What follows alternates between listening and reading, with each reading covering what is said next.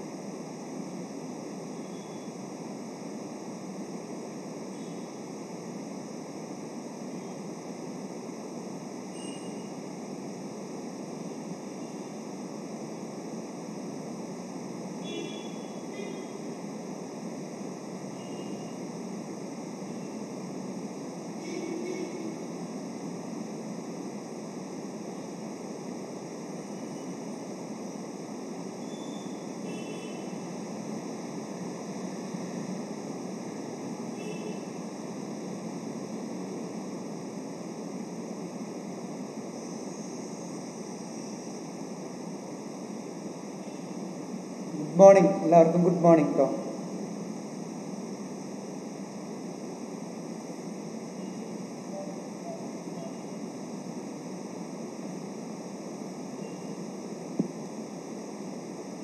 അപ്പോൾ നമ്മളിന്ന് പഠിക്കുന്നത് ഇംഗ്ലീഷ് ഗ്രാമർ ആൻഡ് വെക്കാബുലറി ആണ്. അപ്പോൾ വെക്കാബുലറിയുടെ പ്രശ്നം എല്ലാവർക്കും അറിയാം. എന്താണ് പ്രശ്നം? വെക്കാബുലറിയുമായി ബന്ധപ്പെട്ട് അല്ലേ? പഠിക്കുമ്പോൾ ഉണ്ടാകുന്ന പ്രശ്നം എന്താണ്? ഓർമ്മ നിൽക്കാത്തൊരവസ്ഥയാണ്. അപ്പോൾ ദിവസം ഒരു പത്ത് വക്കാബുലറി പഠിക്കുക. അങ്ങനെ ഒരു മാസം പിന്നിടുമ്പോൾ ഏകദേശം മുന്നൂറോളം വക്കാബുലറി നമുക്ക് പഠിക്കാൻ സാധിക്കും കേട്ടോ. അപ്പോൾ ഓരോ ദിവസം പത്തെണ്ണം കറക്റ്റായിട്ട് പഠിക്കുക. പി വൈക്കുമായി ബന്ധിപ്പിച്ച കാര്യങ്ങളാണ് പഠിക്കേണ്ടത്. കാരണം മുഴുവനായിട്ട് നമുക്കറിയാം ഇംഗ്ലീഷ് എന്ന് പറയുമ്പോൾ ഒരുപാട് പദസമ്പത്തുള്ളതാണ്. അപ്പോൾ മുഴുവനായിട്ടുള്ള കാര്യങ്ങളും നമുക്ക് പഠിക്കാൻ സാധിക്കില്ല. അപ്പോൾ പ്രീവിയസ് ക്വസ്റ്റ്യൻ പേപ്പർ അടിസ്ഥാനപ്പെടുത്തിയിട്ട് പ്രധാനപ്പെട്ട ഒരു ട്വന്റി ഫൈവ് ഇയേഴ്സിൽ നടന്ന പി എസ് സിയുമായി ബന്ധപ്പെട്ട വെക്കാബുലറി ഒക്കെ നമുക്ക് കണക്ട് ചെയ്യാം. കേട്ടോ. അപ്പോൾ ഇന്നൊരു ഇരുപത് പ്രധാനപ്പെട്ട ക്വസ്റ്റ്യൻസ് ആണ് നമ്മളിവിടെ ഇന്ന് സോൾവ് ചെയ്യാൻ പോകുന്നത്. അതിനനുസരിച്ച് അടുത്ത ദിവസം ഒരു സിസ്റ്റമാറ്റിക് ആയിട്ടുള്ള ക്ലാസ്സുകളായിരിക്കും ഉണ്ടായിരിക്കുക കേട്ടോ. അപ്പോൾ ഇംഗ്ലീഷ് വെക്കാബിൾ ആൻഡ് ഗ്രാമർ ഒരു സിസ്റ്റമാറ്റിക് ആയിട്ട് പോവും.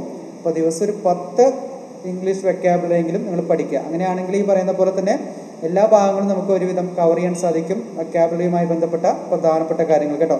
കൂടുതലായി പഠിച്ചു കഴിഞ്ഞാൽ ഒന്നും ഓർമ്മ കിട്ടില്ല. അതാണ് ഇതിന്റെ പ്രത്യേകത കേട്ടോ. എന്നിട്ട് നമുക്ക് ഓരോ ദിവസവും ഒരു അഞ്ച് മാർക്കിന്റെ ഒരു എക്സാം വയ്ക്കാം അപ്പോൾ അവിടെ കിടക്കും. ഉറപ്പിച്ച് നിർത്താൻ സാധിക്കും കേട്ടോ.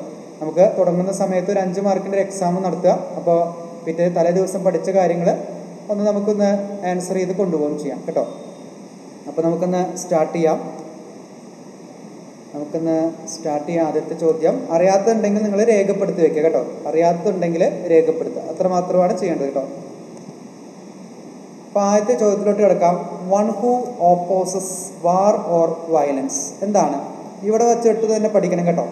ഈ വെക്കാബുലറി ഒക്കെ ഇവിടെ വെച്ച് തന്നെ പഠിക്കണം കേട്ടോ. One who opposes war or violence ഏതാണ് യൂസ് ചെയ്യുക A one who opposes war or violence extremist ആണോ? പെസിഫിസ്റ്റ് ആണോ? വാമോഗറാണോ ഏതാണ് യൂസ് ചെയ്യുക അല്ല എന്താ യൂസ് ചെയ്യാം? എന്താണ് അർത്ഥം? അല്ലേ യുദ്ധവിരോധിയാണ് അല്ലേ? വാർ ഓർ വയലൻസ് പറയുമ്പോൾ എന്താ? യുദ്ധവിരോധിയാണ് കേട്ടോ? യുദ്ധവിരോധിയാണ് അല്ലേ? സമാധാനവാദി. അപ്പൊ സമാധാനവാദി എന്താ തിരഞ്ഞെടുക്കാൻ നമ്മൾ പെസിഫിസ്റ്റ് ആണ് കേട്ടോ? സമാധാനവാദി. രേഖപ്പെടുത്തി വെക്കുക കേട്ടോ? അപ്പോൾ one who opposes war or violence പറയുമ്പോൾ എത്ര മാത്രവും രേഖപ്പെടുത്തി വെക്കുക? എന്താണ്? പെസിഫിസ്റ്റ് ആണ്. എന്താ അർത്ഥം? യുദ്ധ യുദ്ധവിരോധിയാണ്. യുദ്ധത്തെ എതിർക്കുന്ന ആളാണ്. അതുപോലെ തന്നെ എന്താണ്? സമാധാനവാദി എന്നും നമ്മൾ പറയും. അപ്പോൾ one who opposes war or violence എന്താ? പെസിവിസ്റ്റ് ആണ്. എഴുതി വെക്കുക കേട്ടോ. പെസിവിസ്റ്റ് ആണ്. മനസ്സിലായോ? ഓക്കെ പെസിവിസ്റ്റ് പറയുമ്പോൾ എന്താ? സമാധാനം കാക്ഷിക്കുന്നവൻ കേട്ടോ. യുദ്ധത്തിൽ എന്താണ്? യുദ്ധവിരോധിയാണ് ആര്? പെസിഫിസ്റ്റ് കേട്ടോ. അപ്പോൾ വൺ ഹു ഓപ്പോസസ് ഓപ്പോസസ് പറയുമ്പോൾ എതിർക്കല്ലേ? വാർ ഓർ വയലൻസ് ആക്രമണത്തെയും യുദ്ധത്തെയൊക്കെ എതിർക്കുന്നവനാണ് ആര്? പെസിവിസ്റ്റ് കേട്ടോ. യുദ്ധ വിരോധിയാണ് സമാധാന പ്രിയനാണ് പെസിവിസ്റ്റ് അടുത്ത ചോദ്യത്തിലോട്ട് കിടക്കാം. രണ്ടാമത്തെ ചോദ്യമാണ്. രണ്ടാമത്തെ ചോദ്യം. മെയ്ഡൻ സ്പീച്ച് മെയ്ഡൻ സ്പീച്ച് എന്താണ്? മെയ്ഡൻ സ്പീച്ച് എന്താണ്? മെയ്ഡൻ സ്പീച്ച് മീൻസ് എന്താണ് എ മെയ്ഡ് സ്പീച്ചാണോ റെഡിമെയ്ഡ് സ്പീച്ചാണോ ഫസ്റ്റ് സ്പീച്ചാണോ എ ഗേൾസ് സ്പീച്ചാണോ ഏതാണ്? മെയ്ഡൻ സ്പീച്ച് മീൻസ് എന്താ? എ മെയ്ഡ് സ്പീച്ച് ആണോ? റെഡിമെയ്ഡ് സ്പീച്ച് ആണോ? ഫസ്റ്റ് സ്പീച്ച് ആണോ? എ ഗേൾ സ്പീച്ച് ആണോ? ഏതാണ് രേഖപ്പെടുത്തുക. മെയ്ഡൻ സ്പീച്ച് മീൻസ് എന്താ? ആ മെയ്ഡൻ സ്പീച്ച് പറയുമ്പോൾ ഫസ്റ്റ് സ്പീച്ചാണ് കേട്ടോ. ആദ്യത്തെ സ്പീച്ചാണ് മെയ്ഡൻ സ്പീച്ച് പറയുമ്പോൾ എന്താണ്? ഫസ്റ്റ് സ്പീച്ചാണ് അപ്പം മെയ്ഡൻ സ്പീച്ച് മീൻസ് എന്താണ്? ഫസ്റ്റ് സ്പീച്ചാണ് കേട്ടോ. ഇത് ഒരുപാട് തവണ പി എസ് സിയുടെ ഒരു ആവർത്തന ചോദ്യമാണ്. അപ്പോൾ നേരത്തെ നമ്മൾ പെസിഫിസ്റ്റ് ആണ് പഠിച്ചത് പെസിഫിസ്റ്റ് എന്താണ്? സമാധാനപ്രിയൻ അല്ല യുദ്ധവിരോധിയാണ്. മേഡൻ സ്പീച്ച് എന്താ പഠിച്ചത് ഫസ്റ്റ് സ്പീച്ചാണ് അപ്പോൾ ഇവിടെ തന്നെ വെച്ച് പഠിക്കുക കേട്ടോ.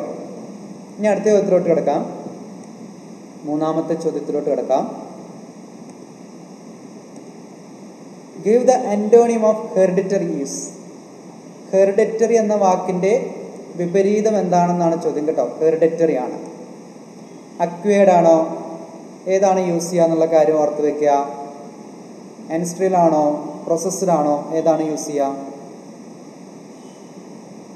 ഇത് ദ അന്റോണിയം ഓഫ് ഹെറിഡിറ്ററി ഏതാണ് യൂസ് ചെയ്യുക? Hereditary give the antonym of hereditary is എന്താണ് യൂസ് ചെയ്യുക? ഹെറിഡിറ്ററി ആണ് കേട്ടോ. ഹെറിഡിറ്ററി ഏതാ യൂസ് ചെയ്യുക? Hereditary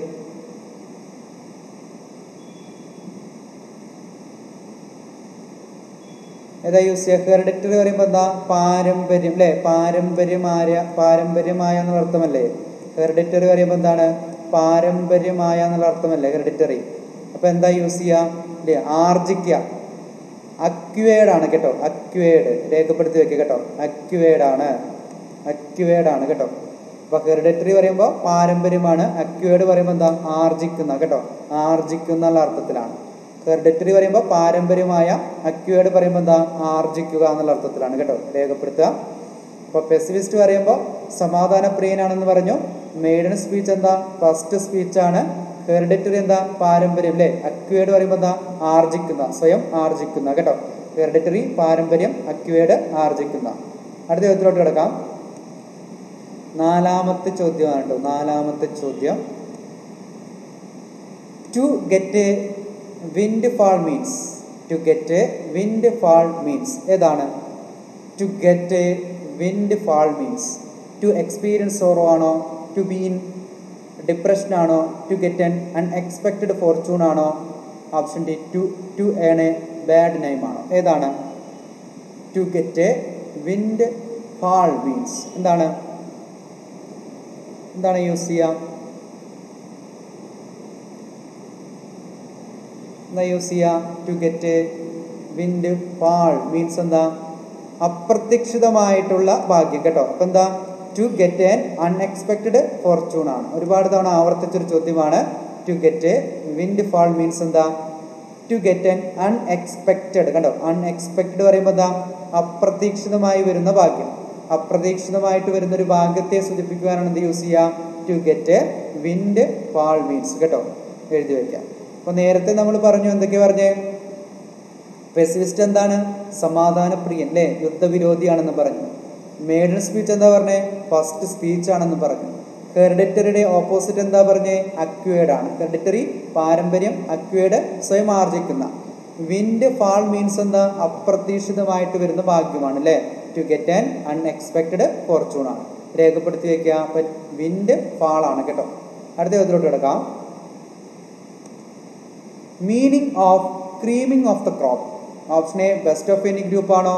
The season for repairing and gathering ആണോ?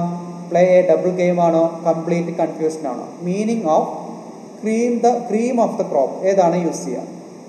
ഏതാണ് യൂസ് ചെയ്യുക? Meaning of cream of the crop ഏതാണ് യൂസ് ചെയ്യുക?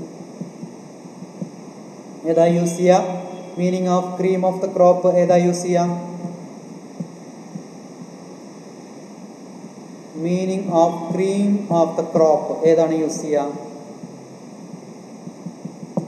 ഇതെന്താ? Creaming cream of the crop പറയുമ്പോൾ എന്താണ്? ഒരു ഗ്രൂപ്പിലെ ഏറ്റവും ബെസ്റ്റ് എന്ന് യൂസ് ചെയ്യാനാണ് കേട്ടോ.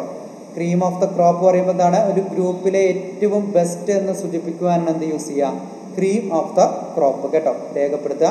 അപ്പോൾ നേരത്തെ പെസിഫിസ്റ്റാണ് പറഞ്ഞ് യുദ്ധവിരോധി സമാധാനപ്രിയനാണെന്ന് പറഞ്ഞു. മേഡൻ സ്പീച്ച് പറയുമ്പോൾ ഫസ്റ്റ് സ്പീച്ചാണെന്ന് പറഞ്ഞു. ഹെറിഡിറ്ററി എന്താണ് അക്വേഡ് ആണെന്ന് പറഞ്ഞു. വിൻഡ് ഫാൾ പറയുമ്പോൾ എന്താ? അൺഎക്സ്പെക്റ്റഡ് ഫോർച്യൂണ അപ്പോൾ meaning of cream of the crop പറയുമ്പോൾ എന്താ? ബെസ്റ്റ് ഓഫ് എനി ഗ്രൂപ്പ് ആണ് കേട്ടോ. ഒരു ഗ്രൂപ്പിലെ ഏറ്റവും ബെസ്റ്റ് എന്ന് സൂചിപ്പിക്കുവാനാണ് എന്ത് യൂസ് ചെയ്യാം? ക്രീം ഓഫ് ദ ക്രോപ്പ് അടുത്ത ചോദ്യത്തിലോട്ട് കിടക്കാം. ഒരു പ്രധാനപ്പെട്ട ഒരു ചോദ്യമാണ് കേട്ടോ അടുത്തത്. എന്താണ്? A fish out of water means a fish out of water means ഇതൊക്കെ കാണുമ്പോൾ തന്നെ നമുക്ക് മനസ്സിലാക്കാൻ സാധിക്കും ഇവിടെ എന്താണ് വരിക. കേട്ടോ. A fish out of water means എന്താ? A fish out of water means എന്താണ്? ഇവിടെ സെലക്ട് ചെയ്യുക നമ്മൾ a fish out of water means എന്താ സെലക്ട് ചെയ്യുക ആ ഫിഷ് ഔട്ട് ഓഫ് വാട്ടർ എന്ന് പറയുമ്പോൾ തന്നെ ഒരു പാത്രത്തിന്റെ ഉള്ളിൽ നിന്ന് ഒരു മത്സ്യം ചാടിപ്പോയി കഴിഞ്ഞാൽ എന്തായിരിക്കും ഉണ്ടായിരിക്കുക? മത്സ്യത്തിന് എന്താ സംഭവിക്കുക ഇവിടെ? ഏ? നമുക്കറിയാം എന്താണ്? To be in an uncomfortable പൊസിഷനാണ് അല്ലേ ആശ്വാസമല്ലാത്ത ഒരു സ്ഥിതിവിശേഷമല്ലേ അവിടെ ഉണ്ടാവുക അല്ലേ അപ്പോൾ അതിൽ തന്നെ ഉണ്ട് എന്താണ്? To be in an uncomfortable പൊസിഷനാണ് to be in an uncomfortable പൊസിഷനാണ് കേട്ടോ. അപ്പോൾ a fish out of water means എന്താ? To be in an uncomfortable ആശ്വാസമല്ലാത്ത ഒരു സ്ഥിതി വിശേഷമാണ് കേട്ടോ. ആ ഫിഷ് ഔട്ട് ഓഫ് ഒരു അതിൽ തന്നെ കിട- കിടക്കുന്നുണ്ട് എന്താ? A fish out of water means എന്താ? നമുക്ക് അൺകംഫർട്ടബിൾ ആയിട്ടുള്ള അല്ലെങ്കിൽ ആശ്വാസമല്ലാത്ത ഒരു സ്ഥിതി വിശേഷമാണ്. ഇത്രയും കാര്യം മനസ്സിലായോ? ഓക്കെ അപ്പോൾ പെസിഫിസ്റ്റിന്റെ അർത്ഥം നമ്മൾ എന്താ പറഞ്ഞേ? പെസിഫിസ്റ്റിന്റെ അർത്ഥം എന്താ നമ്മൾ പറഞ്ഞേ? യുദ്ധവിരോധിയാണ് അതേപോലെ തന്നെ സമാധാനപ്രിയനാണ്. മേഡൻ സ്പീച്ച് എന്താ പറഞ്ഞേ? ഫസ്റ്റ് സ്പീച്ച് ആണെന്ന് പറഞ്ഞു. ഹെറിഡിറ്ററി എന്താ പറഞ്ഞേ? അക്വേഡ് ആണെന്ന് പറഞ്ഞു. ഹെറിഡിറ്ററി അക്വേഡ് ആണ് ആർജിക്കുക. അക്വേഡ് പറയുമ്പോൾ ആർജിക്കുക. ടു വിൻഡ് ഫാൾ പറയുമ്പോൾ എന്താ? അൺഎക്സ്പെക്റ്റഡ് ഫോർച്യൂൺ ആണെന്ന് പറഞ്ഞു. അതുപോലെ തന്നെ ക്രീം ഓഫ് ദ ക്രോപ്പ് എന്താ പറഞ്ഞേ? ബെസ്റ്റ് ഓഫ് എനി ഗ്രൂപ്പ് ആണെന്ന് പറഞ്ഞു. അല്ലേ ഇത്രയല്ലേ നമ്മൾ പറഞ്ഞത്? ഇത്രയാണ് നമ്മൾ പറഞ്ഞത് അല്ലേ അപ്പോൾ പിന്നെ a fish out of water means ആണ് പറഞ്ഞ് അൺകംഫർട്ടബിൾ പൊസിഷൻ ആണ് കേട്ടോ. അതിൽ തന്നെ ഉണ്ട് a fish out of water അല്ലേ അൺകംഫർട്ടബിൾ പൊസിഷൻ ആണ്. അടുത്തതിലേക്ക് എടുക്കാം. ഏഴാമത്തെ ചോദ്യമാണ്. ഇവിടെ നിന്ന് തന്നെ പഠിക്കുക കേട്ടോ. ഈ ചെറിയ സമയത്തിൽ തന്നെ പഠിക്കണം. Take into account means take into account means എപ്പോഴും ചോദിക്കുന്ന ഒരു പ്രൈസൽ വെർബുമായി ബന്ധപ്പെട്ട ഒരു ചോദ്യമാണ്. Take in to account means ഏതാ? കൺസേൺഡ് ആണോ? കൺസിഡേർഡ് ആണോ? പ്രിഫേർഡ് ആണോ? ചെക്ക്ഡ് ആണോ യൂസ് ചെയ്യുക take in to account means എന്താണ് യൂസ് ചെയ്യുക take in to account means എന്താണ് യൂസ് ചെയ്യുക അല്ലേ? ടേക്ക് ഇൻ ടു അക്കൗണ്ട് പറയുമ്പോൾ എന്താ? പരിഗണിക്കുക എന്നുള്ള അർത്ഥത്തിലാണ് കേട്ടോ. കൺസിഡേർഡ് ആണ്. Take in to account means എന്താണ്? കൺസിഡേർഡ് ആണ്. അല്ലേ? കൺസിഡേർഡ് ആണ്. അപ്പോൾ നമ്മൾ എന്തൊക്കെയാണ് പഠിച്ചേ? പെസിഫിസ്റ്റ് ആണ് പഠിച്ചേ. പെസിഫിസ്റ്റിന്റെ അർത്ഥം എന്താ? സമാധാനപ്രിയനാണ് യുദ്ധവിരോധിയാണെന്ന് പറഞ്ഞു. പിന്നെ മെയ്ഡൻ സ്പീച്ച് പറഞ്ഞു ഫസ്റ്റ് സ്പീച്ച് ആണെന്ന് പറഞ്ഞു. ഹെറിഡിറ്ററിയുടെ ഓപ്പോസിറ്റ് എന്താണ് പറഞ്ഞു? അക്യുവേഡ് ആണെന്ന് പറഞ്ഞു. ടു വിൻഡ് ഫാൾ പറയുമ്പോൾ എന്താ? അൺഎക്സ്പെക്റ്റഡ് ഫോർച്യൂൺ ആണ്. അപ്രതീക്ഷിതമായിട്ടുള്ള അപ്രതീക്ഷിതമായിട്ടുള്ള ധനമാണ്. യൂസ് ചെയ്യുന്നത് ക്രീം ഓഫ് ദ ക്രോപ്പ് എന്താ ബെസ്റ്റ് ഓഫ് എനി ഗ്രൂപ്പാണ് അതായത് ഒരു ഗ്രൂപ്പിലെ ഏറ്റവും ബെസ്റ്റ് ആണ്. A fish out of water എന്താ അൺകംഫർട്ടബിൾ പൊസിഷൻ ആണ് കേട്ടോ. Take in to account means എന്താ? കൺസിഡേർഡ് ആണ്. പരിഗണന കേട്ടോ. കൺസിഡേർഡ് ആണ്. ഉറപ്പിച്ചില്ലേ എണ്ണം? അടുത്ത ദിവസത്തിലോട്ട് കിടക്കാം. എ ഡാഷ് ഓഫ് ഡോൾഫിൻസ് ആണ്. എ ഡാഷ് ഓഫ് ഡോൾഫിൻസ് ആണ്. ഏതാ രേഖപ്പെടുത്തുക? എ ഡാഷ് ഓഫ് ഡോൾഫിൻസ് ആണ്. ഏതാ രേഖപ്പെടുത്തുക? A dash of dolphins muster ആണോ ലോഫ് ആണോ ബേബി ആണോ കോഡാണോ യൂസ് ചെയ്യുന്നത്? ഏതാണ് യൂസ് ചെയ്യുക a dash of dolphins. A dash of dolphins. ഏതാ യൂസ് ചെയ്യുക ആ പോഡാണ് യൂസ് ചെയ്യുക ഡോൾഫിന്റെ കൂട്ടം എന്ന രീതിയിലൊക്കെ യൂസ് ചെയ്യാനാണ് എന്ത് യൂസ് ചെയ്യുക നമ്മൾ പോഡ് യൂസ് ചെയ്യുക. കളക്റ്റീവ് കൂട്ടം എന്നുള്ള രീതിയിലൊക്കെയാണ് യൂസ് ചെയ്യുക. കേട്ടോ? അടുത്ത ചോദ്യത്തിലോട്ട് എടുക്കാം arts college is dash word. എന്ത് വേടാ ആർട്സ് കോളേജ്? ആർട്സ് കോളേജ് എന്ത് വേടാ അല്ലേ പി എസ് സി എപ്പോഴും ചോദിക്കുന്നതാണ് സിംപ്ലക്സ് ആണോ കോംപ്ലക്സ് ആണോ കോമ്പൗണ്ട് ആണോ ആട്രിബ്യൂട്ടീവ് ആണോ? ഏതാണ്? Arts college is dash word. ഏത് വേടാ arts college is dash word. ഏത് വേടാ ആർട്സ് കോളേജ് പറയുമ്പോൾ ഏത് വേഡായിട്ടാണ് നമ്മൾ യൂസ് ചെയ്യുക? സിംപ്ലക്സ് ആണോ സിമ്പിൾ ആണോ? കോംപ്ലക്സ് ആണോ? കോമ്പൗണ്ട് ആണോ? ആട്രിബ്യൂട്ടീവ് വേർഡ് ആണോ? ഏതാണ്? കോമ്പൗണ്ട് ആണ് അല്ലേ? കോമ്പൗണ്ട് സെന്റൻസ് പറയുമ്പോൾ എന്താ? രണ്ട് അർത്ഥമുള്ള വാക്കുകൾ ചേർന്ന് ഒരു അർത്ഥമുള്ള വാക്കായിട്ട് മാറും. രണ്ട് അർത്ഥമുള്ള വാക്കുകൾ ചേർന്ന് ഒരു അർത്ഥമുള്ള വാക്കുകളായിട്ട് മാറുന്നതാണ് എന്താ? കോമ്പൗണ്ട് സെന്റൻസ് അപ്പോൾ രണ്ട് അർത്ഥമുള്ള വാക്കുകൾ ചേർന്ന് ഒരു അർത്ഥമുള്ള വാക്കായിട്ട് മാറും. ആർട്സ് കോളേജ് വരുമ്പോൾ ഒരു അർത്ഥമുള്ള ഒരു വാക്കായിട്ട് മാറിയില്ലേ? ആർട്സ് പറയുമ്പോൾ ഒരർത്ഥം കോളേജ് പറയുമ്പോൾ ഒരർത്ഥമാണ് ഒരു വാക്കാണ് രണ്ടും അർത്ഥപൂർണമാണ് ഇത് രണ്ടും തമ്മിൽ ബന്ധിപ്പിക്കുന്ന സമയത്ത് വേറൊരു അർത്ഥപൂർണമായിട്ടുള്ള വാക്കോടെ ലഭിക്കുന്നു കേട്ടോ. അതാണെന്ത്? കോമ്പൗണ്ട് സെന്റൻസ് കേട്ടോ മനസ്സിലായി വിചാരിക്കുന്നുണ്ട്? അടുത്തേക്ക് പോവാം. The plural form of nebula നെബ്യൂളയുടെ plural form എന്താണ്? നെബ്യൂളയുടെ പ്ലൂറൽ ഫോം എന്താണ്? The plural form of nebula the plural form of nebula ഏതാണ്? The plural form of nebula ഏതാ യൂസ് ചെയ്യുക നെബ്യൂളെ എന്താണ് യൂസ് ചെയ്യുക നെബ്യൂളെ കേട്ടോ? നെബ്യൂളെ നെബ്യൂള എന്ന് പറയുമ്പോൾ ഒരു ഈ ചേർത്താൽ മതി കേട്ടോ. ഒരു ഈ ചേർത്ത് കഴിഞ്ഞാൽ ഇതിന്റെ പ്ലൂറൽ കിട്ടും. ഇവിടെ ഒരു ഈ ചേർക്കുക അപ്പോൾ പ്ലൂറൽ കിട്ടും കേട്ടോ. നെബ്യൂള മനസ്സിലായി വിചാരിക്കുന്നുണ്ട്. ഇവിടെ ഒരു ഈ ചേർത്താൽ കാര്യം കഴിഞ്ഞു കേട്ടോ. അപ്പോൾ പത്ത് വൊക്കാബിലിറ്റി ആണ് ഇന്ന് പഠിച്ചത് നമ്മൾ ഒന്നുകൂടി നമുക്ക് നോക്കാം. എന്നിട്ട് നമുക്ക് വീണ്ടും ഗ്രാമറിലോട്ട് പോകാം കേട്ടോ. ഇതൊക്കെ പഠിക്കുക. ഓരോ ദിവസം പത്ത് വൊക്കാബിലിറ്റി പഠിച്ചാൽ മതി. കൂടുതലായിട്ട് പഠിച്ചാൽ ഒന്നും ഓർമ്മയുണ്ടാവില്ല അപ്പോൾ one who opposes war or violence അല്ലേ സമാധാന പ്രിയനാരാ പെസിഫിസ്റ്റ് ആണ് കേട്ടോ. സമാധാന പ്രിയൻ അല്ലെങ്കിൽ യുദ്ധവിരോധിയാണ്. അടുത്ത ചോദ്യത്തിലോട്ട് കിടക്കാം.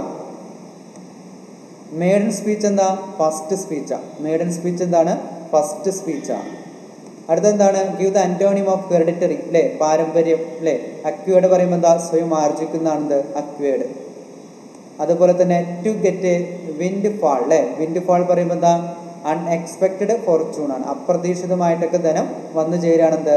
വിൻഡ് ഫാൾ അതുപോലെ തന്നെ meaning of the cream of the crop cream of the crop പറയുമ്പോൾ എന്താ? ക്രീം ഓഫ് ദ ക്രോപ്പ് പറയുമ്പോൾ എന്താ? ബെസ്റ്റ് ഓഫ് എനി ഗ്രൂപ്പാണ് ഒരു ഗ്രൂപ്പിലെ ഏറ്റവും ബെസ്റ്റ് എന്ന് സൂചിപ്പിക്കുവാനാണ് എന്ത് യൂസ് ചെയ്യുക ക്രീം ഓഫ് ദ ക്രോപ്പ് അടുത്ത എന്താ പറഞ്ഞത് നമ്മൾ a fish out of water means അല്ലേ അതിൽ തന്നെയുണ്ട് ഒരു a fish out of water പറയുമ്പോൾ എന്താ? അൺകംഫർട്ടബിൾ പൊസിഷൻ ആണ് കേട്ടോ. ആശ്വാസമല്ലാത്ത ഒരു പ്രവർത്തനം. Take in to account means എന്താ? കൺസിഡേർഡ് ആണ്. Take in to account means എന്താണ്? കൺസിഡേർഡ് ആണ്. പരിഗണന എന്നുള്ള അർത്ഥത്തിലാണ് യൂസ് ചെയ്യുന്നത് കേട്ടോ. എ ഡേഷ് ഓഫ് ഡോൾഫിൻസ് എന്താ? A pod of a pod of dolphins ആണ്. അടുത്തത് arts college is dash word കാരണം ഓൾറെഡി അറിയാം രണ്ട് അർത്ഥപൂർണമായിട്ടുള്ള വാക്കുകൾ കൂടിച്ചേർന്ന് പുതിയ ഒരു അർത്ഥപൂർണമായിട്ടുള്ള വാക്കുകൾ ചേരുക അതാണ് ഇത് കോമ്പൗണ്ട് ഇവിടെ ആർട്സും കോളേജും രണ്ട് വ്യത്യസ്തമായിട്ടുള്ള വാക്കുകളാണ് രണ്ട് വ്യത്യസ്തമായിട്ടുള്ള ആശയങ്ങളാണ് അതായത് പദ പദങ്ങളാണ് മീനിങ് ആയിട്ടുള്ള പദങ്ങളാണ്. ഇത് ഒരുമിച്ച് വരുമ്പോൾ പുതിയ ഒരു അർത്ഥം കിട്ടുക. അതാണ് എന്താ ഈ പറയുന്ന കോമ്പൗണ്ട് സെന്റൻസ് കേട്ടോ. പത്താമത്തെ ദ പ്ലൂറൽ ഫോം ഓഫ് നെബ്യൂളയാണ് പറഞ്ഞ് നെബ്യൂളയുടെ പ്ലൂറൽ ഫോം എന്താ? നെബ്യൂളെ കേട്ടോ? നെബ്യൂളയാണ് ഇനി അടുത്ത ചോദ്യത്തിലോട്ട് കിടക്കാം. Dash cricket is my favourite pastime ഏതാണ് രേഖപ്പെടുത്തുക? Dash cricket is my favourite pastime ഏതാണ് രേഖപ്പെടുത്തുക? Dash cricket is my favourite pastime play ആണോ? പ്ലേഡ് ആണോ? പ്ലേയിങ് ആണോ? പ്ലേസ് ആണോ? ഏതാണ് ഇവിടെ രേഖപ്പെടുത്തേണ്ടത്? Cricket is my favourite pastime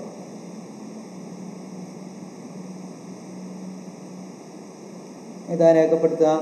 Dash cricket is my favourite pastime പറയുമ്പോൾ ഏതാ രേഖപ്പെടുത്തുക.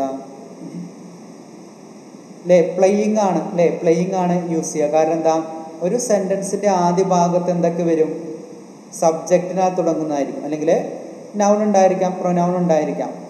അല്ലെങ്കിൽ എന്ത് ഫോമ വരുള്ളൂ? ജറൗണ്ട് ആണ് യൂസ് ചെയ്യുക. ജറൗണ്ട് ഓൾറെഡി അറിയാം നമുക്ക് ദാ വെർബിന്റെ ഐ എൻ ജി ഫോമാണ് അപ്പോൾ പ്ലേയിങ് ആണ് ഇവിടെ യൂസ് ചെയ്യേണ്ടത്. പ്രത്യേകം ശ്രദ്ധിക്കുക. ഒരു സെന്റൻസിന്റെ ആദ്യ ഭാഗത്ത് നൗണോ അല്ലെങ്കിൽ പ്രൊനൗണോ അല്ലെങ്കിൽ എന്താ വരുള്ളൂ? ജറൗണ്ട് ആണ് യൂസ് ചെയ്യുക. നേരിട്ടുള്ള അവിടെ പ്ലേ കൊടുത്തിട്ടുണ്ട് പ്ലേഡ് കൊടുത്തിട്ടുണ്ട് പ്ലേസ് കൊടുത്തിട്ടുണ്ട്. അപ്പോൾ ഇവിടെ ശ്രദ്ധിക്കേണ്ട കാര്യം ഒരു സെന്റൻസിന്റെ തുടക്ക ഭാഗത്ത് എന്ത് യൂസ് ചെയ്യാം? ജറൗണ്ട് ഫോം യൂസ് ചെയ്യാം. കേട്ടോ? ജറൗണ്ട് ഫോം എന്താണ്? വെർബിന്റെ ഐ എൻ ജി ഫോമാണ് അപ്പോൾ ഇത്ര മാത്രമുള്ള ഒരു സെന്റൻസിന്റെ ആദ്യ ഭാഗത്ത് എപ്പോഴും ക്രിയയുടെ ഇങ്ങനെ ക്രിയകളൊക്കെ തന്നു കഴിഞ്ഞാൽ I N G form use ചെയ്യാം. കാരണം ജറൗണ്ട് ഫോം ഒരു സെന്റൻസിന്റെ തുടക്കത്തിൽ വരാം കേട്ടോ. അത് പ്രത്യേകം രേഖപ്പെടുത്തി വെച്ചാൽ മതി. ജറൗണ്ട് ഫോം ഒരു സെന്റൻസിന്റെ തുടക്കത്തിൽ വരാം. ജറൗണ്ട് ഫോം എന്താ? വെർബിന്റെ ഐ എൻ ജി ഫോമാണ് കേട്ടോ അടുത്ത ചോദ്യത്തിലോട്ട് കിടക്കാം. She avoided dash him about her plans ഏതാണ് രേഖപ്പെടുത്തുക? She avoided dash him about her plans ഏതാണ് യൂസ് ചെയ്യുക? She avoided dash him about her plans ഏതാണ് യൂസ് ചെയ്യുക?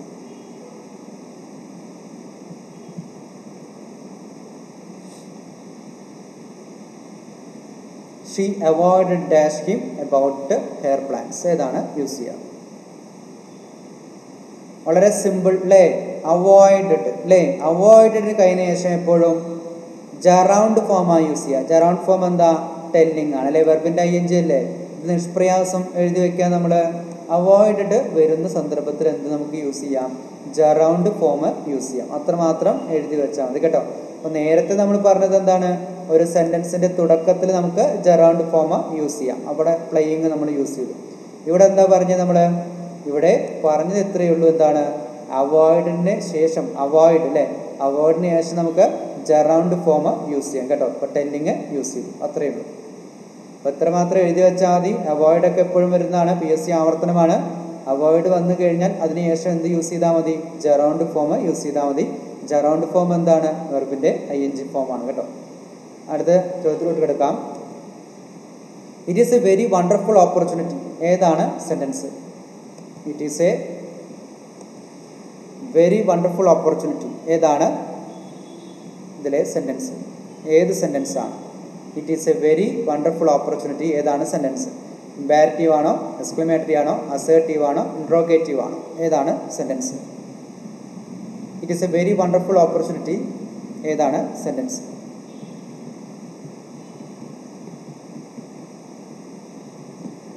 വളരെ നിഷ്പ്രയാസം കിട്ടിയ എന്താ? അസേർട്ടീവ കാരണം എന്താ? അസേർട്ടീവ് സെന്റൻസ് പറയാൻ കാരണം എന്താ?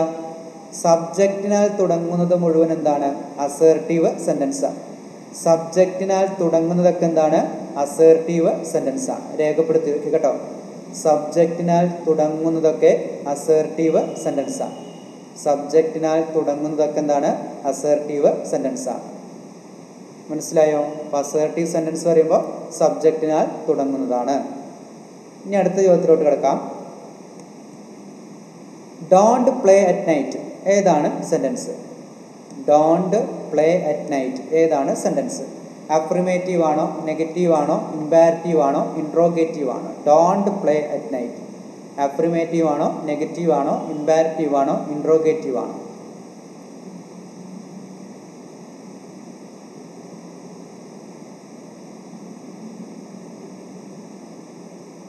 ഏതാണ് യൂസ് ചെയ്തേ? അല്ലേ ഇമ്പാരറ്റീവ് ആണ്. ഇമ്പാരറ്റീവ് പറയുമ്പോൾ എന്താ?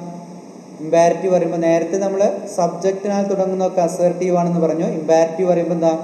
റിക്വസ്റ്റും കമാൻഡും ഓർഡറും അഡ്വൈസും മെയിൻ വെർബിലൊക്കെ തുടക്കം കുറിക്കുന്ന എന്താണ്? ഇമ്പാരറ്റീവ് സെന്റൻസ് ഒരിക്കൽ കൂടി പറയാം. റിക്വസ്റ്റ് ചെയ്യുക കമാൻഡ് ചെയ്യുക ഓർഡർ ചെയ്യുക അഡ്വൈസ് ചെയ്യുക മെയിൻ വെർബിലൊക്കെ തുടക്കം കുറിക്കുക. കേട്ടോ? മെയിൻ വെർബിലൊക്കെ തുടക്കം കുറിക്കുന്നത് ഓൾറെഡി എന്ത് തന്നെയാണ്? ഇമ്പാരറ്റീവ് സെന്റൻസ് ആണ്. അപ്പോൾ നമ്മൾ റിക്വസ്റ്റ് ചെയ്യുന്നു അഭ്യർത്ഥിക്കുന്നു അതേപോലെ തന്നെ റിക്വസ്റ്റ് ചെയ്യുന്നു കമാൻഡ് ചെയ്യുന്നു ഓർഡർ ചെയ്യുന്നു അഡ്വൈസ് ചെയ്യുന്നു മെയിൻ വെർബിലൊക്കെ തുടക്കം കുറിക്കുന്നത് എന്ത് തന്നെയാണ്? ഇമ്പാരറ്റീവ് സെന്റൻസ് ആണ് ഇപ്പോൾ സബ്ജക്റ്റിനെ തുടങ്ങുന്നത് അസേർട്ടീവ് സെന്റൻസ് ആണെങ്കിൽ ഇമ്പാരറ്റീവ് സെന്റൻസ് പറയുമ്പോൾ എന്താ? റിക്വസ്റ്റ് ചെയ്യുക കമാൻഡ് ചെയ്യുക ഓർഡർ ചെയ്യുക അഡ്വൈസ് ചെയ്യുക. മെയിൻ വെർബിലൊക്കെ തുടക്കം കുറിക്കുന്നത് തന്നെയാണ്? ഇമ്പാരറ്റീവ് സെന്റൻസ് ആണ് കേട്ടോ ഇനി അടുത്ത ചോദ്യത്തിലോട്ട് കിടക്കാം. അടുത്ത ചോദ്യം. ലുക്ക് ബിഫോർ യു ലീപ്പ് ഏതാണ് രേഖപ്പെടുത്തുക? Look before you leap interrogative ആണോ ഇമ്പാരറ്റീവ് ആണോ ഡിക്ലറേറ്റീവ് ആണോ എക്സ്ക്ലമേറ്ററി ആണോ ലുക്ക് ബിഫോർ യു ലീപ്പ് ഏതാണ് രേഖപ്പെടുത്തുക? ലുക്ക് ബിഫോർ യു ലീപ്പ് ഏതാണ് രേഖപ്പെടുത്തുക? നേരത്തെ പറഞ്ഞു രണ്ട് സെന്റൻസിനെ കുറിച്ച് പറഞ്ഞു. സബ്ജക്റ്റിനാൽ തുടങ്ങുന്നത് നമ്മൾ പറഞ്ഞു അസേർട്ടീവ് സെന്റൻസ് ആണെന്ന് പറഞ്ഞു. റിക്വസ്റ്റ് ചെയ്യും കമാൻഡ് ചെയ്യും ഓർഡർ ചെയ്യും അഡ്വൈസ് ചെയ്യും. മെയിൻ വെർബിലൊക്കെ തുടക്കം കുറിക്കുന്നത് എന്താ? ഇമ്പാരറ്റീവ് സെന്റൻസാണ് അപ്പോൾ ഏത് സെന്റൻസാണ് ലുക്ക് ബിഫോർ യു ലീപ്പ് ഏത് സെന്റൻസാണ് ആ. ഏത് സെന്റൻസാ ഇമ്പാരറ്റീവ് സെന്റൻസാ അല്ലേ? കാരണം എന്താ? ലുക്ക് അല്ലേ? ലുക്ക് പറയുമ്പോൾ എന്ത് തന്നെയാ? മെയിൻ വെർബല്ലേ അല്ലേ? ആ മെയിൻ വെർബിലൊക്കെ സ്റ്റാർട്ട് ചെയ്യുന്നത് എന്ത് തന്നെയാണ്? ഇമ്പാരറ്റീവ് സെന്റൻസാണ് ഇപ്പോൾ ഒരാൾ പ്ലീസ് ഓപ്പൺ യുവർ ഐസ് എന്നൊക്കെ പറയുമ്പോൾ എന്താ?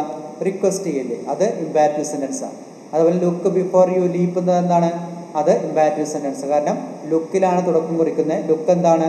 മെയിൻ വെർബ അപ്പോൾ ഓപ്പൺ ദ ഡോർ അല്ലേ ഓപ്പൺ ചെയ്യുക ഓപ്പൺ എന്താ? മെയിൻ വർബ് അതെന്ത് തന്നെയാണ് ഇമ്പാരറ്റീവ് സെന്റൻസ് ആണ് കേട്ടോ. ഇനി അടുത്തേക്ക് പോവാം. The passive form raise your hands എന്താണ് യൂസ് ചെയ്യുക the passive form raise your hands option A ആണോ? ബി ആണോ? സി ആണോ? ഡി ആണോ? യൂസ് ചെയ്യേണ്ടത്. ഏതാണ്? രേഖപ്പെടുത്തുക. ഇതാണ് രേഖപ്പെടുത്തൂ the passive form raise your hands ഏതാണ്? യൂസ് ചെയ്യാം എന്താ യൂസ് ചെയ്യാം let your hands be raised ആണ്. എന്താണ്? Let your hands be raised ആണ്. എന്താ കാരണം? റൈസ് യുവർ ഹാൻഡ്സ് എന്താണ്? എന്ത് സെന്റൻസാ നമ്മൾ നേരത്തെ പഠിച്ച റൈസ് അല്ലേ എന്തിനാ തുടക്കം കുറിച്ചിരിക്കുന്ന റൈസ് ആണ് അല്ലേ? റൈസ് പറയുമ്പോൾ മെയിൻ വെർബാണ് അപ്പോൾ മെയിൻ വെർബിലാണ് തുടക്കം കുറിച്ചിരിക്കുന്നത്. ഇതെന്താണ്? ഇമ്പാരറ്റീവ് സെന്റൻസാ ഈ ഇമ്പാരറ്റീവ് സെന്റൻസിനെ പാസീവ് വോയിസിലോട്ട് മാറ്റുക എങ്ങനെയാ? ഇമ്പാരറ്റീവ് സെന്റൻസിനെ പാസീവ് വോയിസിലോട്ട് എങ്ങനെ മാറ്റുക? ലെറ്റ് ആണ് ഉപയോഗിക്കുക. ഇമ്പാരറ്റീവ് സെന്റൻസിനെ പാസീവ് വോയിസിലോട്ട് എങ്ങനെ മാറ്റുക?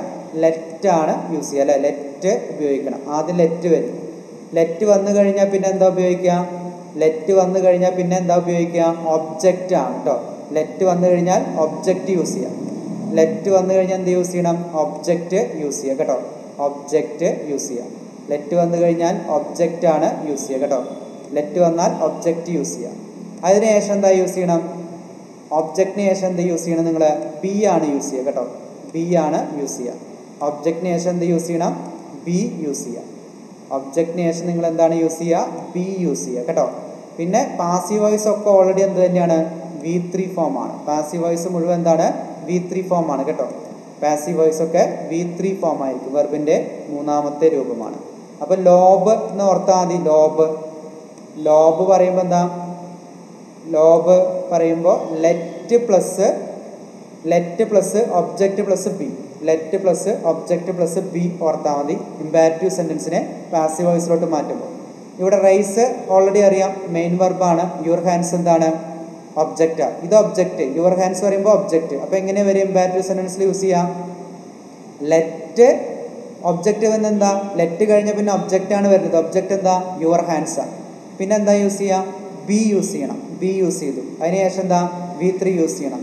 റൈസിന്റെ എന്ത് ചെയ്യണം? വി ത്രീ ഫോം ആണെന്ത്? റേസ്ഡ് കേട്ടോ അപ്പോൾ ഇമ്പാരറ്റീവ് സെന്റൻസ് ആണ് റേസ് യുവർ ഹാൻഡ്സ് പറയുമ്പോൾ ഇമ്പാരറ്റീവ് സെന്റൻസ് ആണ് ഓൾറെഡി തന്നിരിക്കുന്നത്. തന്നിരിക്കുന്നതിനെ പാസീവ് വോയിസിലോട്ട് മാറ്റി എങ്ങനെയാണ് ലെറ്റ് ആദ്യം ഉപയോഗിക്കുക.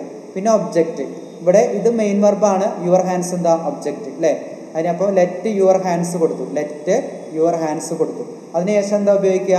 ബി ആണ് യൂസ് ചെയ്യുക അല്ലേ? Be raised V three form use ചെയ്യുക. അത്രയേ ഉള്ളൂ കേട്ടോ. അപ്പോൾ ഇമ്പാറ്റീവ് സെന്റൻസ് ആണ്. ഇമ്പാറ്റീവ് സെന്റൻസിനെ എന്തിലോട്ട് കൺവേർട്ട് ചെയ്യണം നമ്മൾ ഇതിനെ പാസീവ് വോയിസിലോട്ട് മാറ്റുമ്പോൾ ലെറ്റ് ആദ്യം ഉപയോഗിക്കുക പിന്നെ ഒബ്ജക്റ്റ് യൂസ് ചെയ്യുക പിന്നെ ബി യൂസ് ചെയ്യുക പിന്നെ ബി ത്രീ ആണ് യൂസ് ചെയ്യേണ്ടത് കേട്ടോ. അപ്പോൾ let your hands be raised ആണ് വരിക. അടുത്ത ചോദ്യത്തിലോട്ട് കിടക്കാം. പതിനേഴാമത്തെ ചോദ്യം.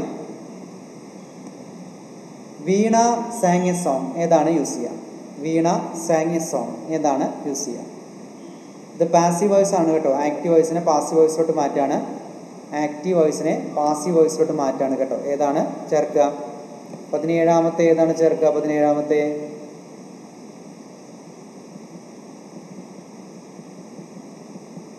പതിനേഴാമത്തെ ഏതാ? രേഖപ്പെടുത്തുക. പാസീവ് വോയിസിലോട്ട് മാറ്റുമ്പോൾ പാസീവ് വോയിസിലോട്ട് മാറ്റുമ്പോൾ എന്താ കൊടുക്കുക സി ആണ് അല്ലേ അപ്പോൾ a song was sung by Veena കാരണം എന്താ? വീണ അല്ലേ സെന്റൻസ് ആണ് സ്റ്റേറ്റ്മെന്റ് സെന്റൻസിനെ പാസീവ് വോയിസിലോട്ട് മാറ്റുമ്പോൾ എന്തിനാ തുടക്കം കുറിക്കുക? ഒബ്ജക്റ്റിലാണ് തുടക്കം കുറിക്കുക. എന്തിനാണ് ഒബ്ജക്റ്റിലാണ് നമ്മൾ തുടക്കം കുറിക്കേണ്ടത് കേട്ടോ. അപ്പോൾ ഇവിടെ ഒബ്ജക്റ്റ് എന്താണെന്ന് എല്ലാവർക്കും അറിയാം. എന്താണ് ഒബ്ജക്റ്റ് ഇവിടുത്തെ ഒബ്ജക്റ്റ് എന്താ? ഇവിടുത്തെ ഒബ്ജക്റ്റിലാണ് നമ്മൾ സ്റ്റേറ്റ്മെന്റ് അല്ലേ സ്റ്റേറ്റ്മെന്റ് സെന്റൻസ് പറയുന്നു സബ്ജക്റ്റിനാണ് തുടങ്ങുന്നതൊക്കെ സ്റ്റേറ്റ്മെന്റ് സെന്റൻസ് ആണെന്ന് പറഞ്ഞു. അപ്പോൾ ഒബ്ജക്റ്റിലാണ് തുടക്കം കുറിക്കുക. ഇവിടുത്തെ ഒബ്ജക്റ്റ് ഏതാ? എ സോങ് ആണ് ഒബ്ജക്റ്റ് അപ്പോൾ എ സോങ് ഒബ്ജക്റ്റ് ആണ്. അതിനുശേഷം പ്രത്യേകം ശ്രദ്ധിക്കുക സാങ് പറയുമ്പോൾ എന്താണ്? സിമ്പിൾ പാസ്റ്റ് അപ്പോൾ സിമ്പിൾ പാസ്റ്റ് വരുമ്പോൾ പാസി വോയിസിലോട്ട് മാറ്റുമ്പോൾ എന്ത് യൂസ് ചെയ്യണം? Was were plus V three ആണ് യൂസ് ചെയ്യുക. സിമ്പിൾ പാസ്റ്റ് വരുമ്പോൾ എന്ത് യൂസ് ചെയ്യണം? സാങ് ഓൾറെഡി അറിയാം. സിമ്പിൾ പാസ്റ്റ് ആണെന്ന് അറിയാം. അപ്പോൾ എന്താ യൂസ് ചെയ്യുക? Was plus was or were plus V three ആണ് യൂസ് ചെയ്യുക ഇപ്പം എന്താ ഉപയോഗിച്ച് ഒബ്ജക്റ്റിനാലാണ് സ്റ്റേറ്റ്മെന്റ് സെന്റൻസ് തുടങ്ങിയത്.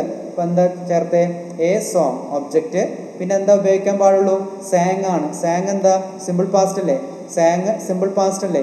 അപ്പോൾ എന്ത് യൂസ് ചെയ്യണം നമ്മളിവിടെ? വാസ് അല്ലെങ്കിൽ വേർ. ഇവിടെ ഒരു സോങ് എന്നാണ് പറഞ്ഞിരിക്കുന്നത്. അപ്പോൾ സിംഗുലർ ആണ്. അതുകൊണ്ട് വാസ് യൂസ് ചെയ്തു. പിന്നെ സാങ്ങിന്റെ വി ത്രീ എന്താണ്? സങ് ആണ് ബൈ വീണ. ഇത്രയേ ഉള്ളൂ കേട്ടോ. ഇനി അടുത്ത ചോദ്യത്തിലോട്ട് എടുക്കാം അടുത്ത ചോദ്യമാണ് the work dash completed by seven thirty P M tomorrow ഏതാണ് രേഖപ്പെടുത്തുക? The work dash completed by seven thirty P M tomorrow the work dash completed by seven thirty P M tomorrow ഏതാണ് രേഖപ്പെടുത്തുക? ഏതാ രേഖപ്പെടുത്തുക? ഇവിടെ നമുക്ക് ഒന്നും അറിഞ്ഞില്ലെങ്കിലും ഇത് കണ്ടുപിടിക്കാം കാരണം എന്താ? ബൈ ലേ by time adverb by എന്തിന്റെ ടൈം ആഡ് വെർബ ഫ്യൂച്ചർ പെർഫെക്റ്റിന്റെ കേട്ടോ ബൈ വെച്ചിട്ട് ഒരു ഭാവിയെ സൂചിപ്പിക്കുക. ടുമാറോ പറയുമ്പോൾ ഭാവിയെ സൂചിപ്പിക്കുന്നതല്ലേ? നാളെയല്ലേ? അപ്പോൾ ബൈ വെച്ചിട്ട് ഒരു ഭാവിയെ സൂചിപ്പിക്കുകയാണെങ്കിൽ നമ്മൾ ഫ്യൂച്ചർ പെർഫെക്റ്റ് ആണ് യൂസ് ചെയ്യുക. വിൽ ഹാവ് അല്ലെങ്കിൽ ഷാൾ ഹാവ് യൂസ് ചെയ്യുക. കേട്ടോ?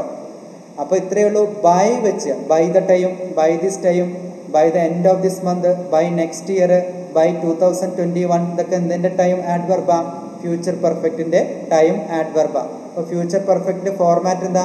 Will have or shall have plus V three ആണ്. അപ്പോൾ ബൈ വെച്ചിട്ട് ഒരു ഭാവിയെ സൂചിപ്പിക്കുകയാണെങ്കിൽ നിങ്ങൾ എന്ത് ചേർക്കണം?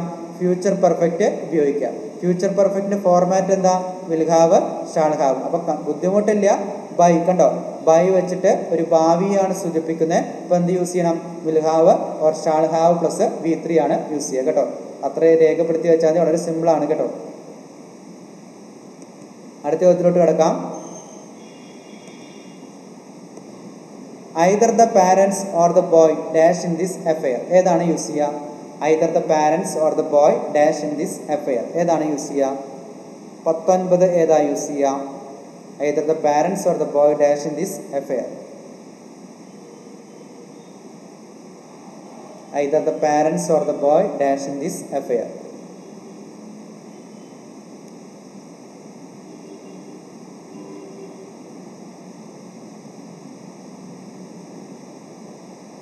ഏതാ യൂസ് ചെയ്യാം ഇപ്പം ഐദർ ഓറിന്റെ നിയമം എന്താ either or neither nor not only but also ഇതിന്റെയൊക്കെ നിയമം എന്താ ഐദർ ഓറിന്റെയും നൈദർ നോറിന്റെയും നോട്ട് ഓൺലി ബട്ട് ഓൾസോന്റെയും നിയമം എന്താ? രണ്ടാമത്തെ സബ്ജക്റ്റ് പാരൻസ് ഒന്നാമത്തെ സബ്ജക്റ്റാണ് രണ്ടാമത്തെ സബ്ജക്റ്റ് എന്താ? ദ ബോയ് ആണ് അപ്പോൾ ശ്രദ്ധിക്കേണ്ട കാര്യം രണ്ടാമത്തെ സബ്ജക്റ്റ് സിംഗുലർ ആണെങ്കിൽ വെർബ് സിംഗുലർ രണ്ടാമത്തെ സബ്ജക്റ്റ് പ്ലൂറൽ ആണെങ്കിൽ എന്താ? വെർബ് പ്ലൂരൽ അപ്പോൾ ഇവിടെ രണ്ടാമത്തെ സബ്ജക്റ്റ് എന്താ? സിംഗുലറാണ് അതുകൊണ്ട് എന്ത് യൂസ് ചെയ്തു ഇവിടെ? നമ്മൾ സിംഗുലർ ആയിട്ടുള്ള വെർബ് യൂസ് ചെയ്തു. ഈസ് ടു ബ്ലൈൻ അപ്പോൾ ഇത്രയേ ഉള്ളൂ. ഐദർ ഓറും നൈദർ നോറും നോട്ട് ഓൺലി ബട്ട് ഓൾസോ ഒക്കെ വരുന്ന സന്ദർഭത്തിൽ രണ്ടാമത്തെ സബ്ജക്റ്റ് ഏകവചനമാണെങ്കിൽ അല്ലെങ്കിൽ സിംഗുലർ ആണെങ്കിൽ വെർബ് എന്താ? സിംഗുലർ രണ്ടാമത്തെ സബ്ജക്റ്റ് പ്ലൂരിലാണെങ്കിൽ എന്ത് യൂസ് ചെയ്യാം? വെർബ് പ്ലൂരിൽ അപ്പോൾ ഇവിടെ നമ്മൾ എന്താ കൊടുത്തിരിക്കുന്നത്? ദ ബോയ് ആണ് കേട്ടോ.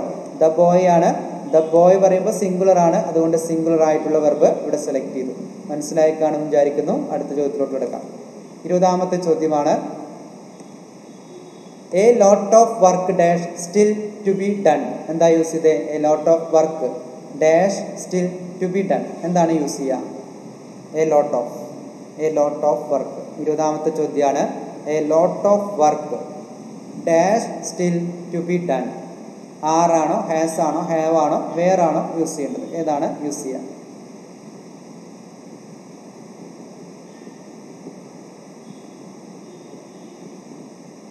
ഏതാ യൂസ് ചെയ്യുക a lot of work dash still to be done ഏതാ യൂസ് ചെയ്യുക വളരെ സിമ്പിളേ ഹാസ് ആണ് യൂസ് ചെയ്യുക കാരണം എന്താ? എ ലോട്ട് ഓഫിന് ശേഷം വന്നിരിക്കുന്ന വർക്ക് കൗണ്ട് ചെയ്യാൻ സാധിക്കുമോ ഇല്ല. അപ്പോൾ എ ലോട്ട് ഓഫിന് ശേഷം കൗണ്ട് ചെയ്യാൻ സാധിക്കാത്ത നാമങ്ങളാണെങ്കിൽ കൗണ്ട് ചെയ്യാൻ സാധിക്കാത്ത നാമങ്ങൾ എന്തൊക്കെയാണ് ടൈം വർക്ക് അതേപോലെ തന്നെ ഇൻഫർമേഷൻ മണി ഇതൊക്കെ എന്താണ്? കൗണ്ട് ചെയ്യാൻ സാധിക്കില്ല.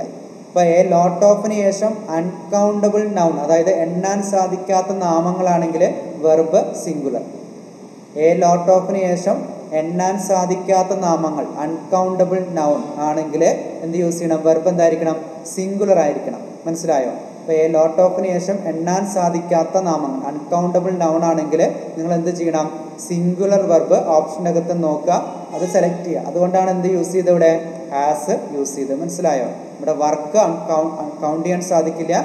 അതുകൊണ്ട് എന്ത് യൂസ് ചെയ്ത് നമ്മളിവിടെ? സിംഗുലർ യൂസ് ചെയ്തു. അത്രയേ ഉള്ളൂ കേട്ടോ. ഇത്രയും കാര്യങ്ങൾ മനസ്സിലായോ? ഇപ്പം നമ്മൾ എന്താണ് ഇന്ന് പത്ത് വക്കാബുലറി പഠിച്ചു കേട്ടോ. പത്ത് വക്കാബുലറി പഠിച്ചു എന്തൊക്കെയാ? പത്ത് വക്കാബുലറിയാണ് പഠിച്ചത് എന്തൊക്കെയാ? One who opposes war or violence എന്താ? സമാധാന പ്രിയൻ അല്ലേ സമാധാന പ്രിയൻ യുദ്ധവിരോധി പെസിഫിസ്റ്റ് ആണ്. അത് കണക്ട് ചെയ്തു. അതിനുശേഷം മെയ്ഡൻ സ്പീച്ച് മീൻസ് എന്താ? ഫസ്റ്റ് സ്പീച്ചാ അതും പഠിച്ചു. Give the antonym of hereditary അല്ലേ ഹെറിഡിറ്ററി പറയുമ്പോൾ പാരമ്പര്യം. സ്വയം ആർജിക്കുന്ന എന്താ? അക്വേഡ അതും പഠിച്ചു. അതിനുശേഷം നമ്മൾ ഇപ്പോൾ അന്റോണിയൻസ് പഠിച്ചു. അതിനുശേഷം ടു ഗെറ്റ് വിൻഡ് ഫാൾ അല്ലേ? വിൻഡ് ഫാൾ പറയുമ്പോൾ എന്താ? അൺഎക്സ്പെക്റ്റഡ് ഫോർച്യൂൺ ആണ്. വിൻഡ് ഫാൾ എന്നതാണ് അൺഎക്സ്പെക്റ്റഡ് ഫോർച്യൂൺ ആണ്. അപ്രതീക്ഷിതമായിട്ട് വരുന്ന വരുമാനമാണ് കേട്ടോ. ധനമാണ്. ക്രീം ഓഫ് ദ ക്രോപ്പ് എന്താ? ബെസ്റ്റ് ഓഫ് എനി ഗ്രൂപ്പ് ആണ്. അതായത് ക്രീം ഓഫ് ദ ക്രോപ്പ് ഒക്കെ ഒരുപാട് തവണ പി എസ് സി ആവർത്തിച്ചാണ് ഒരു ഗ്രൂപ്പിലെ ഏറ്റവും ബെസ്റ്റ് എന്ന് സൂചിപ്പിക്കുവാനാണ്. A fish out of water means എന്താ? അതായത് അൺകംഫർട്ടബിൾ പൊസിഷനാണ് അൺകംഫർട്ടബിൾ പൊസിഷൻ പറയുമ്പോൾ എന്താ? ആശ്വാസമല്ലാത്ത ഒരു അവസ്ഥയാണ് സൂചിപ്പിക്കുന്നത് കേട്ടോ. ആശ്വാസമല്ലാത്ത ഒരു അവസ്ഥയാണ് സൂചിപ്പിക്കുന്നത്. ഇതെപ്പോഴും ആവർത്തിക്കുന്ന ഒരു ചോദ്യം തന്നെയാണ് കേട്ടോ. അതുപോലെ തന്നെ take in to account means എന്താ? കൺസിഡേർഡ് ആണ്. പരിഗണിക്കുക എന്നുള്ള അർത്ഥത്തിലാണ് യൂസ് ചെയ്യുക കേട്ടോ. പരിഗണിക്കുക എന്നുള്ള അർത്ഥത്തിലാണ് യൂസ് ചെയ്യുക. പിന്നെ എ ഡാഷ് ഓഫ് ഡോൾഫിൻസ് ആണ്. പോഡ് ഓഫ് ഡോൾഫിൻസ് ആണ് നമ്മൾ പഠിച്ചത്. ഒമ്പതാമത്തെ ആർട്സ് കോളേജ് ഒരു കോമ്പൗണ്ട് വേർഡാണെന്ന് പറഞ്ഞു. അതിനുശേഷം നമ്മൾ എന്ത് പഠിച്ചു? The plural form of nebula നെബ്യൂളയാണ് അപ്പോൾ ഇത്രയും കാര്യങ്ങളാണ് ഇന്ന് നമ്മൾ പഠിക്കുന്നത്.